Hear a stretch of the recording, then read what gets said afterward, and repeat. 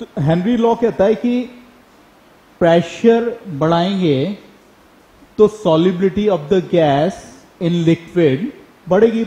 ये गैस का partial pressure है और उसकी सॉलिबिलिटी एस है फॉर्मूला उसका होता है ये P is equal to K H into mole fraction जहाँ मोल फ्रैक्शन उसकी सॉलिबिलिटी को बताता है। तो ये तो जैसे एरेटेड वाटर है सोडा वाटर है तो वो गैस को अंडर प्रेशर उसमें अपन जो है वो करते हैं तो वो ज़्यादा उसमें डिजोल्व होती है और कैप ओपन करते हैं तो वो बाहर निकल जाती है प्रेशर कम होता है तो ये गैस का पार्शियल प्रेशर होता है।